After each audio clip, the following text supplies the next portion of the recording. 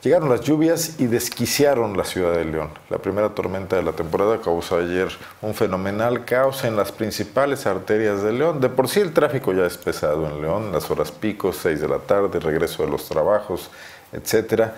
Ayer la lluvia volvió verdaderamente imposible circular por varias de estas arterias.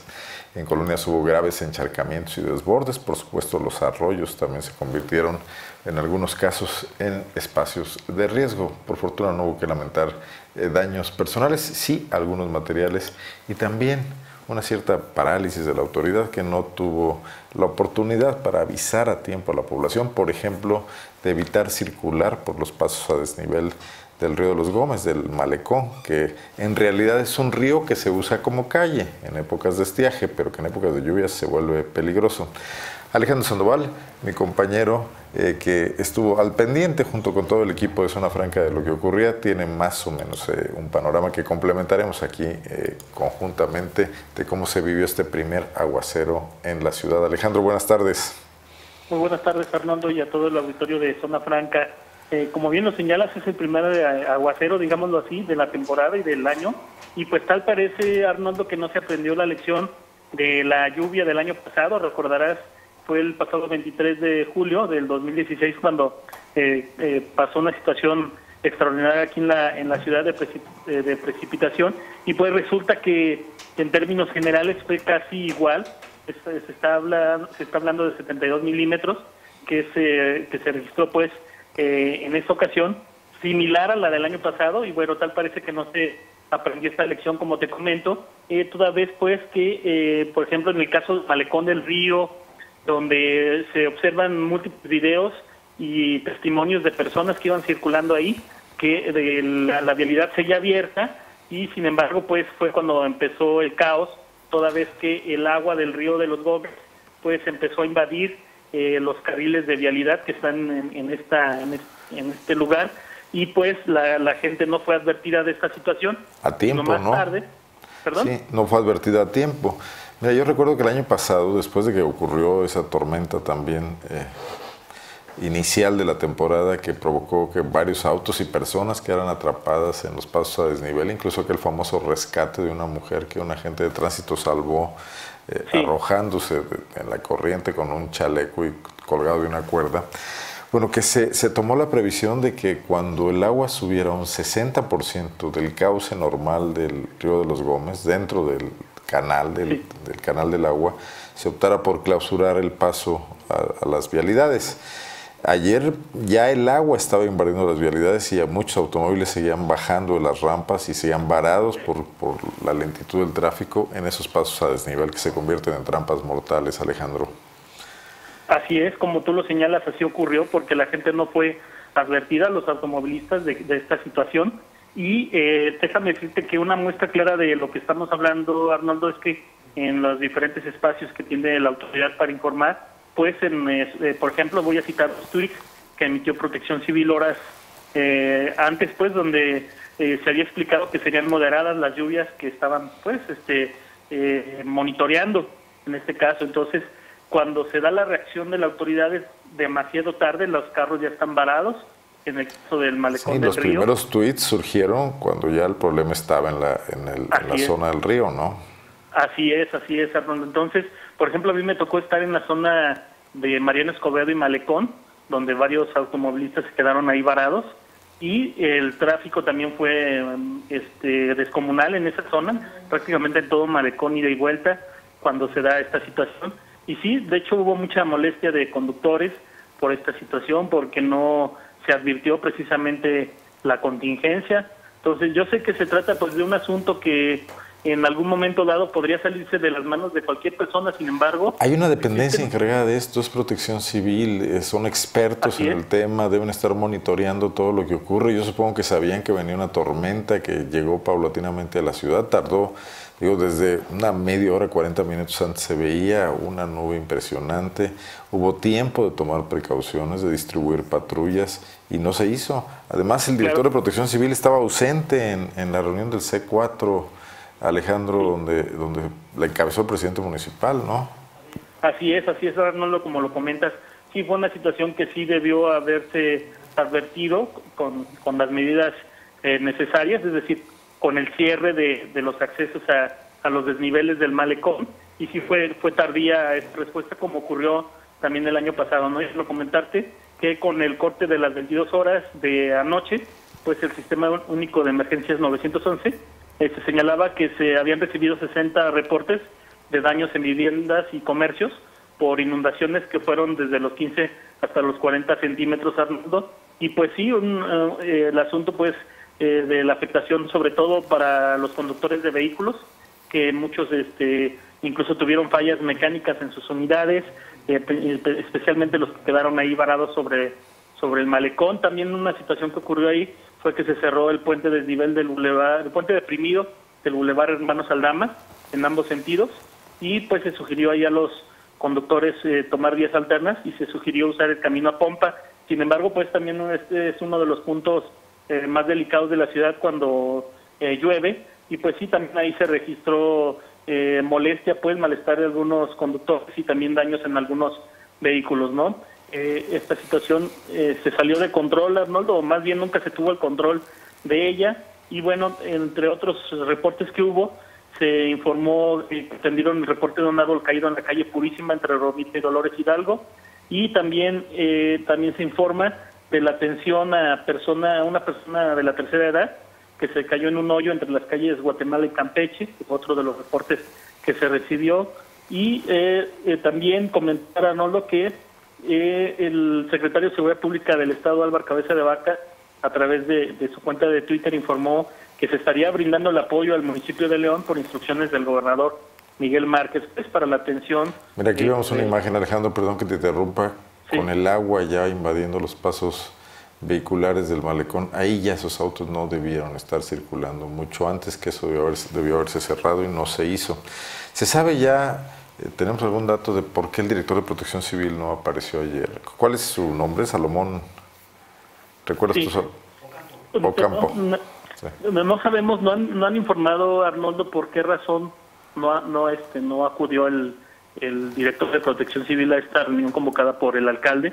No sabemos la situación real, es decir, no ha habido un informe. y su eh, segundo de a bordo, que debía estar en campo atendiendo la emergencia, era el que estaba en la junta con el presidente municipal, ¿no? Así es, podría presumirse también esa situación, pero de manera oficial no se ha no se ha informado. Lo que sí es evidente, Arnoldo, y es que hubo una falta de previsión de lo que para atender pues eh, esta lluvia y pues se repitió la misma situación del año pasado que hubiera sido ya una lección para la autoridad para que no eh, volviera a ocurrir. Sin embargo pues vemos que los resultados son son otros Arnoldo. Sí información muy deficiente te dicen tome vías alternas pero no, no sugieren cuáles pueden ser estas vías alternas eh, realmente la ciudad estaba colapsada en varios de sus principales arterias, López Mateos, bueno, pues ya no se diga el Malecón, la zona de las Torres, la zona de Paseo del Moral, donde el agua subió pues con la cantidad suficiente para que algunos coches bajos fueran afectados. Es más, hubo muchos coches varados en la ciudad, ¿no? Sí, así es. De hecho, eh, a mí me tocó también pasar aquí por el Arroyo del Muerto, aquí cerca de la Secundaria Federal número 3, entre la Oriental y Manzanares, cuando salían los alumnos de en la tarde, y también no había nada de vigilancia, los alumnos pasaban a unos metros del arroyo. Es el arroyo de Alfaro, ¿no?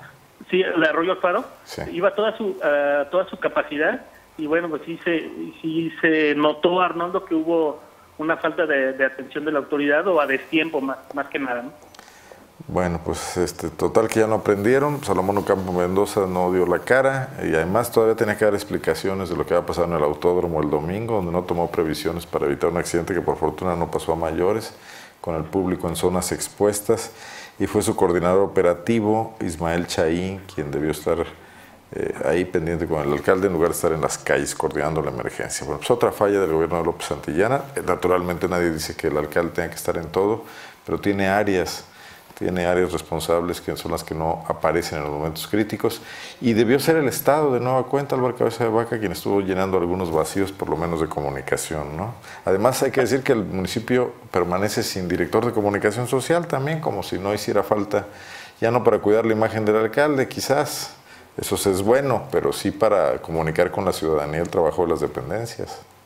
Sí, y perdón, algo que también me faltó comentar, que también hubo muchos afectados de, por el transporte público, por los retrasos, desviación de rutas. Inundaciones de algunas estaciones, ¿no, Alejandro? Sí, sí, así es, hubo afectación ahí de, de la gente que usa el transporte público de León, eh, de múltiples formas, es decir, la gente llegó tarde a sus casas, eh, afortunadamente pues, era una hora donde la mayoría de la gente sale de sus, de sus, de sus lugares de trabajo y se dirigen a su casa, ¿no? Sin embargo, hubo muchos retrasos, hubo cambio de ruta, por ejemplo, en la, ruta 6 a mí me tocó ver ahí en el malecón que tuvo que irse hacia la calle San Sebastián de la Martinica para poder evitar pues el todo el tráfico que había ahí en el en la zona de Malecón para entrar a la calzada y también en algunas estaciones de transferencia pues hubo el tema de las inundaciones o de los encharcamientos ahí que también afectó eh, eh, el servicio. Déjame decirte que tenemos el dato de que hubo algunas unidades de, de, de taxi eh, otorgando el servicio a algunos de los ciudadanos como si fueran transporte, como es decir, las rutas que utilizan los, los autobuses. Sin embargo, pues es, es algo que también se debe de mencionar, ¿no? La afectación que hubo en este caso al transporte, a la movilidad del municipio. Muy bien, y bueno, y hubo afectaciones en, en casas, también se metió el agua en algunas casas, ¿no? Sí, sí, así es. Como te comentaba, te, hay el reporte de daños en, 600, en 60 perdón, viviendas y comercios con, con eh, encharcamientos e inundaciones de los 15 a los 40 centímetros según el reporte que se, que se emitió por parte de la autoridad más tarde. Bueno, pues es el segundo año, lo vuelve a sorprender igual que el primero, ahora ya no hay pretextos. Esperemos que la temporada que ya se regulariza, pues eh, nos trate gentilmente, porque ayer se hablaba de que esta fue una lluvia moderada, lo decían los reportes de protección civil. Realmente en zonas de la ciudad como la zona norte fue un verdadero aguacero. No sé si llegó a tromba, pero fue un aguacero muy fuerte. Eh, si un día nos toca uno de mayor intensidad, pues eh, a ver qué ocurre con esta falta de capacidad de respuesta, Alejandro. Sí, así es, vamos a estar pendientes, ojalá que no vuelva a ocurrir, ¿verdad? Por el bien de los ciudadanos, pero sí esto denota ahí una ineficiencia, como lo señalas, por parte de la, de la autoridad para comunicar las cosas, ¿no? Así es. Bueno, pues esto pasó el día de ayer por la tarde, ya en la noche se había normalizado eh, las vialidades y todo, pero sí fueron horas angustiosas para mucha gente, cuando alguien ve un vehículo y ve que la calle se empieza a llenar de agua, pues no se lo, no se lo desea uno a nadie. Eh, muchísimas gracias, Alejandro. Eh, pero tenemos más información, perdón, perdón, perdón. Vamos a temas de seguridad, porque también ayer la lluvia no impidió que siguieran ocurriendo hechos violentos en municipios de Guanajuato. Alejandro. Sí, fíjate que se registraron dos homicidios a, anoche, que fue uno en León y uno en San Francisco del Rincón. En el caso del, del de León, fue asesinado un ex policía preventivo de nombre José Carlos Edilberto, de 33 años de edad, él duró ocho años en la Policía Municipal de León y hace aproximadamente dos años dejó de serlo, Arnoldo dejó la corporación y actualmente se dedicaba al comercio. Él tenía un, un establecimiento de venta de botanas y perfumería en la colonia León 2, donde eh, ayer fue privado de, de, la vida. Fue esto más o menos alrededor de las de las 7 de la noche, de las 19 horas, y resulta que eh, se dice que dos personas llegaron a bordo de una motocicleta y le dispararon a José Carlos Edilberto y eh, lesionándolo eh, de momento pues llegó llegaron paramédicos y lo trasladaron a un convida a recibir atención médica al Hospital General donde más tarde se reporta su fallecimiento eh, este hecho este ataque fue en el cruce de las calles Manuel Quijano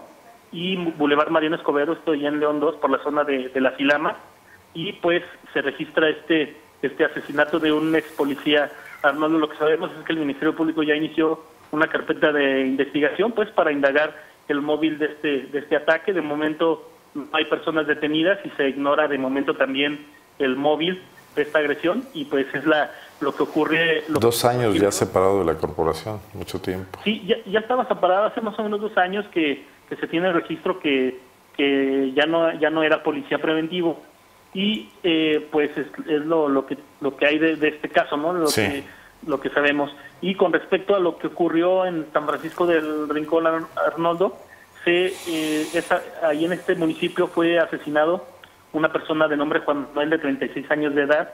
Él fue atacado cuando conducía una camioneta tipo Tajo color arena y fue atacado por personas que viajaban en otra camioneta. Hablan de una camioneta blanca y este ataque ocurre en la calle Rafael Sepien, en la colonia Cuauhtémoc del municipio de San Francisco, y ahí resulta fallecido a esta persona, Juan Manuel, de heridas en, en tanto en el en el cráneo como en el como en el tórax y son eh, se habla pues los vecinos dijeron a la autoridad que se escucharon como cinco detonaciones y posteriormente un impacto como el de un choque. Y sí efectivamente el carro la camioneta que conducía a la víctima quedó impactada con un objeto fijo contra eh, contra un árbol y resulta pues que eh, esta persona eh, se dedicaba a la compraventa de calzado, era tenía su domicilio en el municipio de Purísima, es lo que informa el día de hoy la autoridad, y de igual manera como en el otro caso, no hubo personas detenidas